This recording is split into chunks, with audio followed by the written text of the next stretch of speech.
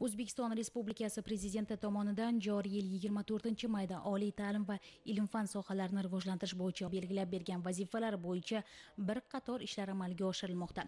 Xususan oliy ta'limda ta'lim sifatini ta'minlash tizimini takomillashtirish bo'yicha ishchi guruh tashkil etilib joylarga chiqib o'rganishlar olib borilmoqda. Ishchi guruhning navbatdagi o'rganish grafiki qoraqalpog'iston respublikasining to'qqizta oliy ta'lim muassasalarida bo'lib o'tdi. Toshkent axborot texnologiyalari universitetining nukus filialida bo'lib turibmiz. Va bu yerdagi e, o'sha prezidentimizning besh tashabbuslari yuzasidan amalga oshirilayotgan ishlarni o'rgandik. O'rganish chog'ida shular ma'lum bo'ldiki e, umuman talabalarni darslardan keyingi bo'sh vaqtini unumli mazmunli o'tkazish bo'yicha e, to'garaklar tashkil qilingan faoliyat olib boryapti. Lekin ulardagi qamrov talabalarni qamrovi ko'ngildagidek emas shuningdek moddiy texnik bazasida ham yetarli Э, kamchiliklar kuzatildi va tavsiyalar berish jarayonida aynan e, talabalarni qamrovi umuman e, to'garaklarni to'liq holda faoliyat olib borish uchun e, qaysi jihatlarga e'tibor berilishi haqida tegishli tavsiyalar berildi. Shuningdek institutda o'rganish jarayonida talabalar turar joyi yo'qligi qator muammolarni keltirib chiqarmoqda. Jumladan hozirgi vaqtda umumiy talabalar kontingentining qirq foiziga yaqini ijara asosida istiqomat qiladi va e, ular bilan e, yaxshi o'rganish ishlari ham olib borilmagan. So'nggi yillarda qoraqalpog'iston respublikasi oliygohlarida raqobatbardosh kadrlar tayyorlash ta'lim sifatini oshirish va ta'lim olish uchun zamonaviy sharoitlar yaratishga katta e'tibor berilmoqda. Lekin shu sharoitlarga munosib bo'lgan ta'lim sifati barcha ta'lim muassasalarida ham ta'minlanmayapti. Misol uchun o'tgan yil reyting natijalariga ko'ra qoraqalpoq davlat universiteti yigirma birinchi o'rinni nukus davlat pedagogika instituti o'ttiz yettinchi o'rinni egalladi. Bu yil reyting uchun taqdim etilgan ma'lumotlar va ishchi guruh o'rganish xulosalariga ko'ra barcha oliy ta'lim muassasalarida ijobiy o'zgarish dinamikasi kuzatildi. Oliy ta'lim muassasalarida ilmiy maqolalarga berilgan iqtiboslar soni o'rtacha bir o'ndan sakkiz barobarga o'sdi. Dissertatsiya himoyalari sezilarli darajada jonlandi. Lekin bu o'zgarishlar hozirgi kunda prezidentimiz tomonidan qo'yilgan talab uchun yetarli emas.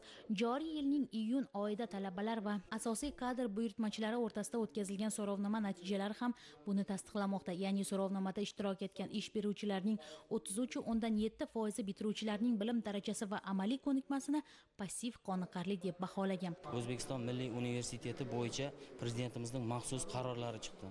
Endi shu qarorda belgilangan vazifalar o'zbekistondagi boshqa oliy ta'lim muassasalariga ham taalluqlidir.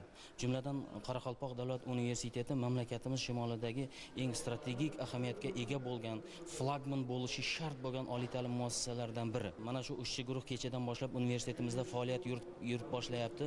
Mana e, o'zbekiston milliy universiteti to'g'risidagi qarorda belgilangan to'qqizta komponent bo'yicha bizning oliy ta'lim muassasasidan ham shu to'qqizta komponentdan kelib chiqib e, yondashuv asosida tahlil qilinmoqda. Qoraqalpoq davlat universitetini e, ta'lim tizimida ta'lim sifatini oshirishda erishgan yutuqlari ko'p. Shu yutuqlar barobarida albatta bizda ham juda kamchiliklar ham mavjud ekanligini ishchi guruh bizga ko'rsatyapti va ularni hal qilishda amaliy yordam beryapti. E'tirof etadigan jihati qoraqalpoq davlat universitetining axborot resurs markazi va axborot texnologiyalari markazi faoliyatini namuna sifatida boshqa ta'lim muassasalariga targ'ib qilish mumkin. Xuddi shuningdek toshkent axborot texnologiyalari texnologiyalari universiteti nukus filial potensialini boshqa oliy ta'lim muassasalarida o'quv va boshqaruv jarayonini avtomatlashtirish tizimini yaratishga yo'naltirish mumkin.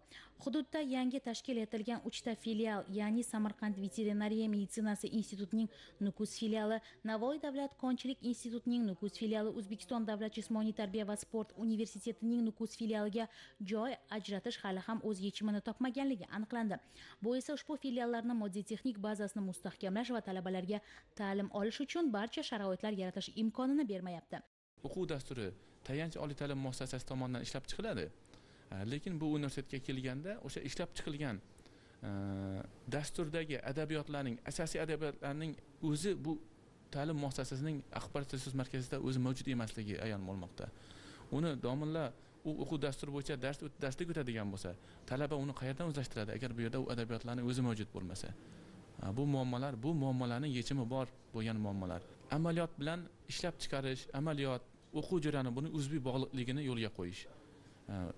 Bu yerda asosan qishloq xo'jaligi universiteti bo'lgandan keyin o'simlar o'simliklarning vegetatsiya davriga moslab amaliyotda davrini qo'ymoq darkor. Yoki bo'lmasam o'sha yerga ishlov berish yoki boshqa bu yerda amaliyot faqatgina yoz oyiga semestrni oxiriga qo'yilgan u davrda hech qanaqa amaliyotni o'tashning o'simlik kutib turmaydi. Man yozda kelsang man shu yerda amaliyot o'taysan deb.